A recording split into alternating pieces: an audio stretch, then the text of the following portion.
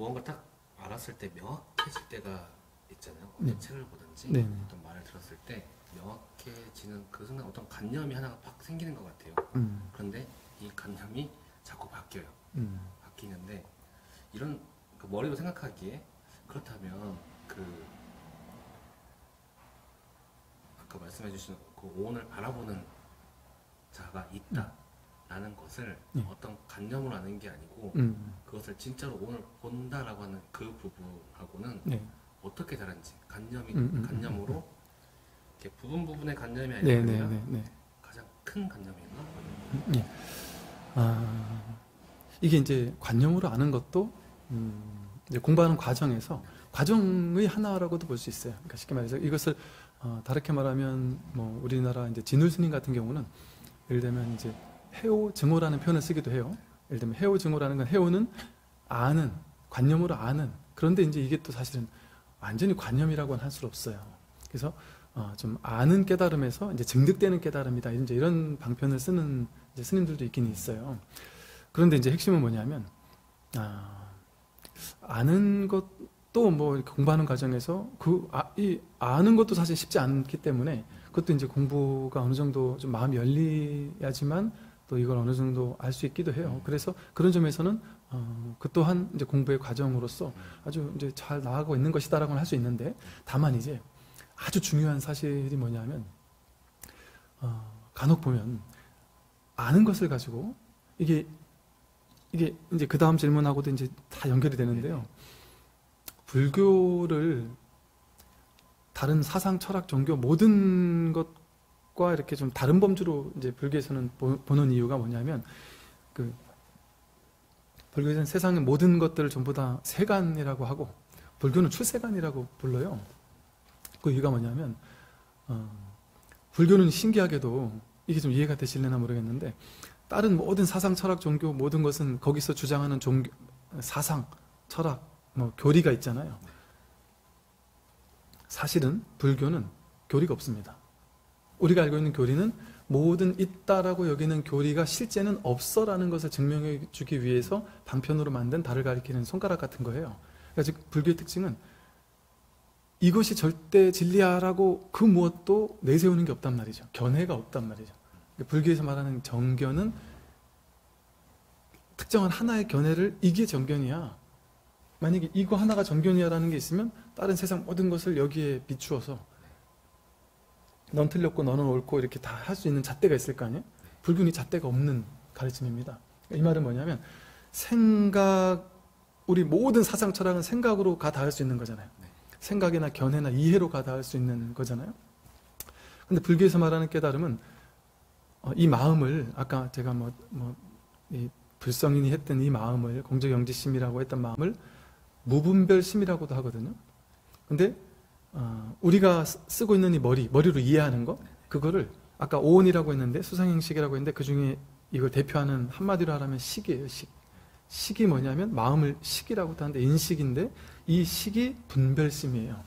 그러니까 분별하는 마음, 그러니까 대상을 파악해 아는 마음을 우리 분별하는 마음을 이제 식이라 그래요. 근데 그 분별하는 마음은 이걸 아느냐 모르느냐 이렇게 우리가 물어보면 이게 긴지 기냐 짧으냐를 물어보면 이것만으로는 길다 짧다고 얘기할 수 없잖아요. 우리 인식은 항상 뭔가 딴 거와 비교해서 길다 짧다라고 상대적으로만 알 뿐이니까 이거를 진짜를 파악할 수 없다는 거죠. 이와 같이 우리의 분별은 분별식 우리 마음은 중생심, 분별심, 중생심은 둘로 나누어 놓고 상대적으로 인식하는 거예요. 그러니까 실제가 아니죠. 이걸 길다고 해도 진실이 아니고 짧다고 해도 진실이 아니잖아요.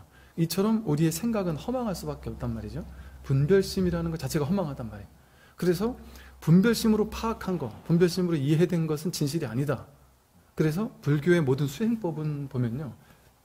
이제 명상이나 수행을 하는 게 전부 다 핵심이 어디에, 어디로 가 있느냐 하면 분별을 딱 맞게 만들어요. 분별 생각, 망상을 딱 끊어지게 만들어요. 그런데 이게 이제 아주 또 중요한 사실인데, 음, 아까도 이제 그 우리 분별심은 이렇다 하면 아 그렇구나 저렇다 하면 그렇구나 이렇게 생각하는데 사실은 불교에서는 이거 이런 것도 아니고 저런 것도 아니다 이런 얘기를 항상 하죠. 제가 아까 이제 공적 영지심 이랬다 뭔가 아는 마음이 있다라고 하면 사람들은 또 아, 아는 마음이 따로 있구나 이렇게 생각하는데 아는 마음이 따로 있는 건 또 아니에요. 따로 있다 하면 그걸 그 안에 하나의 견해를 쥐는 거잖아요. 네. 그래서 어, 분별로서 갈 수 있는 극까지 가더라도 이것은 아니다. 마치 뭐가 비슷하냐면 사과를 먹고 싶은데 사과를 먹어보지 않은 사람에게 사과를 가르쳐 주기 위해서 대학 교수가 사과 관련된 논문을 막 수천 페이지를 써서 논문을 보여주더라도 그 사람이 그 수천 페이지를 읽을 수는 있겠지만 사과만 한번 보는 것과는 완전히 다르잖아요. 네, 그것과 마찬가지로 논리, 견해, 사상, 철학, 이 생각은 너무 복잡해요. 끝도 없이 복잡해질 수 있어요. 여기도 이제 보니까 아까 그 무슨 온갖 뭐 이렇게 놓아버림, 현존하기, 차크라, 음, 네. 요가, 명상, 시크린 뭐 다양한 가르침들이 많아서 공부하면 할수록 더 혼란스러운 생각이 든다라는 이제 얘기를 했는데 이것과 마찬가지예요. 이 분별로 파악하는 것은 사실은 진실이 아닌데 아 이런 측면도 있구나 저런 측면도 있구나 아 이렇게도 얘기할 수 있겠구나 저렇게도 표현할 수 있겠구나 정도의 이야기를 이렇다 저렇다라고 이렇게 규정화시킨 것이 이제 견해의 특징이거든요. 그러니 그 견해를 가지고는 전혀 이 깨달음에는 가까이 갈 수 없는 거죠. 그래서 그래서 이제 때로는 견해 그래서 제가 한편으로는 조금 견해도 뭐, 그- 뭐 하나의 과정일 수 있다라고 얘기한 것은 그렇게 끝까지 가다가 이것이 탁 포기되는 순간이 찾아올 수 있단 말이죠. 그래서 아까 제가 우리 중생심은 분별심, 생각으로 아는 마음이라고 했는데 이 법은 무분별심이에요. 반야지혜라고 하는 해탈열반, 불성이라고 하는 이것은 무분별지라서 생각 망상을 놨을 때 온다. 그래서 불교의 모든 수행법은 생각 망상을 꽉 막히게 해요. 명상도 생각하라고 하지 않죠. 멈추고 보라고 하거든요. 또 가나선이라는 것도 법이 무엇입니까? 물어보면 아, 이게 부처다. 근데 여기 뭔 머리로 해- 이걸 뭐- 그 대신 이걸로 머리로 해석해서 답 이걸 부처인지 알아서는 안 된다. 근데 이 답을 내봐라. 이게 왜 부처냐? 근데 머리로는 답을 내면 안 된다. 그러니까 이렇게 스승이 이 한국 불교의 특징이 강화선이잖아요. 그러니까 그 이렇게 하는 거예요. 스승님, 도대체 깨달음이 뭡니까? 좀 깨닫고 싶습니다. 이게 깨달음이다. 근데 모르겠습니다. 이게 깨달음인데 이게 왜 깨달음인지 확인해라. 다만 머리로 해서는 안 된다.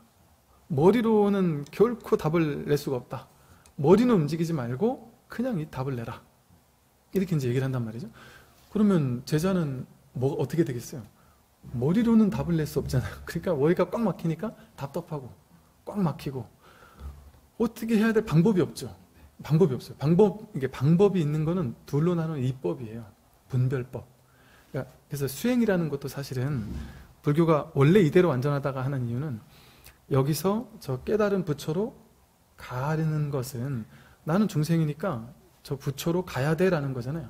가기 위한 방법이 방법론 수행법이잖아요. 이걸 얘기하는 건 사실은 본질에서는 틀린 거죠. 사실은 다. 그러니까 사실은 지금 여기가 이미 그 자리라는 사실을 다만 확인하는 것이지.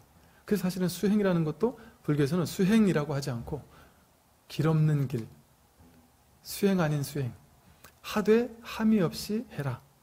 그래서 이게 노자로 말하면 모의자연 하듯이 유의법이 아니라 모의법이다 이러거든요. 유의 조작으로 애써서 가려고 해서는 안 된다. 열심히 노력해서 달성하려고 해서는 안 된다. 그 유의 조작이 딱 멈춰야 한다. 이렇게 얘기를 하는 거죠. 그래서 사실은 이제 많은 이제 선의 스승들이나 불교의 스승들은 아, 이 공부에 대해서 얘기를 끊임없이 법을 설하면서 이 법문을 계속 듣다 보면 저절로 꽉 막히게 만들어요. 분별을 움직이지 못하게. 그러니까 멈추면 비로소 보인다고 하잖아요.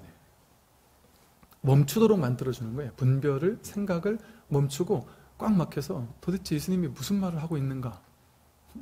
도저히 알 수가 없다. 근데 너무 알 수 없게만 또 말하면 요즘 현대인들은, 그러니까 저도 그랬거든요. 20, 30년 전에 어릴 때 선사 스님들 법문이 도대체 말은 똥막대기가 부처다 뭐 이러니까 뭔 소리를 하는 거야 하고 제가 꽃방에 끼고 그랬거든요.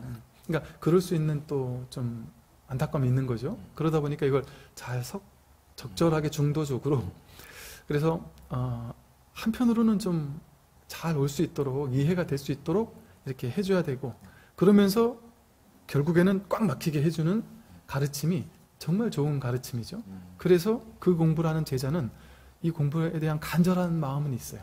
간절한 이게 가슴에 뭔가 불덩이 같은 간절한 알고 싶고 깨닫고 싶은 간절함은 있는데 방법이 없어요. 길이 없어요. 길은 머리로는 안 된다는 거예요. 생각이 망상에 꽉 막히게 만드는데 분명히 이 법을 자꾸 들어 보인단 말이에요. 이걸 직진심이 한다 그래요. 이게 바로 법이다 하는 게 직진심이거든. 그러니 분명히 저게 그냥 하는 말은 아닐 텐데 도대체 저게 무엇일까 하는 이제 간절한 궁금함, 답답함 그 속에서 뭐랄까 좀 버티는 시간이 좀 필요해요. 그래서 그래서 이제 이게 아까 말씀하신 것처럼 이해가 어느 정도 이제 된 사람은 좋아요. 이게 무슨 말이냐면 이제 아 이 공부에 대해서 이제 내가 요즘 사람들은 이제 서양이 이제 깨달음을 그런 식으로 좀 가르치거든요. 동양은 친절하지 못하게 그냥 막 가르치는데 서양에서는 하나하나 이제 이해할 수 있도록 잘 해가면서 아 그러니까 내가 정말 꽉 맞게 되는구나를 스스로 이해해서 아 스스로 여기에서 딱 벗어날 수 있도록 이렇게 자상하게 친절하게 좀 가르쳐줘요. 그래서 그런 부분도 필요하고 그렇게 이제 알게 되었다 보니까 아 내가 지금 머리로는 다 알겠는데 내가 이게 이게 잘못하면 머리로 아는 것에 대해서 어떤 사람들은 머리로만 알아도 사실은 야 이거 진짜 집착을 내려놔야 되겠구나 하고 예전보다는 훨씬 편해질 수 있어요. 사실은 뭐 심리 치유 같은 거를 해도 어, 병이 낫기도 하고 또막 이런 것처럼 또는 뭐 친구에게 고민을 막 털어놓기만 해도 좋아질 수 있는 것처럼 어, 그렇게 좋아질 수는 있는데 그걸 가지고 깨달음이라고 할 수는 없어요. 왜냐하면 그래서 이제 이 공부를 스님들은 선방에서 좌선을 하다가도 이렇게 만행을 다닌다고 해서 실제 사회에서 부딪히도록 하는 이유가 실제 큰 경기에 딱 부딪히면 이제 거기서 힘이 약해지는 거죠. 죽음 앞에서 큰 병 앞에서 이런 데서 이제 무너질 수밖에 없다는 거죠. 그래서 진짜 힘이 있으려면 이게 그래서 이제 이게 불교에서 아, 초견성 내지는 이제 일별 이런 표현을 써요. 일별할 때 별자가 이제 힐급 본다 이런 뜻이거든요. 이 성품에 대해서 불성, 신성이라고 하는 이 자리를 한 번은 체험을 해야 된다. 머리가 아닌 머리가 꽉 막혔을 때 이게 이게 체험을 하는 순간은 막 강렬하게 막 그냥 세상이 무너지는 것 같은 이런 체험으로 오기도 하지만 그냥 미미하게 오기도 하거든요. 그게 어떻게 오는 건 아무 상관이 없다. 그러나 한번 생각이 딱 멎으면서 생각으로는 안 되는 게 설명을 해본다면 그런다는 거예요. 그때 그런 생각을 한다는 게 아니라 처음에 상황이 됐을 때는 아 생각이 힘을 쓰지 못했을 때 문득 문득 어 아하 하는 아하 하고 깨어나는 이런 체험의 순간은 반드시 필요하다는 거죠. 그래서 그게 기점이 되어서 아 이제 아 그러면 이제 안목이 달라져요. 수많은 영성서적 사실은 모든 동서 고금에 있는 영성서적 이런 게 제대로 돼 있는 영성서적은 보면 대부분 이 자리를 설하고 있어요. 다르지가 않아요. 그러니까 다 다른 문화 전통에서 얘기하는데 사실은 다르지 않은 얘기를 하고 있어요. 근데 그것이 그전에는 사실은 전혀 이해가 되지 않아요. 근데 이게 한 번 딱 일별하고 나면 이제 안목이 확 달라져서 그 다음부터의 공부는 어, 막 억지로 하지 않더라도 어, 선지식의 가르침에 그냥 귀 기울이면서 그냥 삶을 사는 것이 공부가 되어서 그때부터는 이제 불교에서는 윗바사나라고 해서 뭐 관해라 하는데 사실은 저절로 관이 되는 측면이 있어요. 저절로 수행이 된달까? 그래서 저절로 이제 스스로 묶인 것에서 어, 벗어날 수 있는 그런 어떤 가능성이 열려요. 그래서 그것을 어, 도노 점수라는 표현을 써요. 몰록 한번 깨닫고 점차적으로 닦아야 한다. 그래서 사실은 도노는 진짜 깨달음이라고 할 수는 없는 게 도노하고 나도 여기 이제 여기도 보니까 업장의 문제를 누가 질문을 하셨던데 도노에서 문득 깨달아도 업습은 남아 있어요. 업장, 업습, 그 자기 습관, 뭐, 뭐 담배 피던 사람은 계속 필 수도 있고 술 먹는 사람은 계속 먹을 수도 있고 그런 어떤 자기 업의 문제, 습의 문제는 완전히 조복받기가 쉽지가 않아요. 그래서 뭐 10년, 20년, 30년 걸린다, 평생 공부를 해야 된다 하는 게 도노 이후 점수가 좀 이렇게 꾸준히 좀 해야 되는 이런 측면들이 있죠.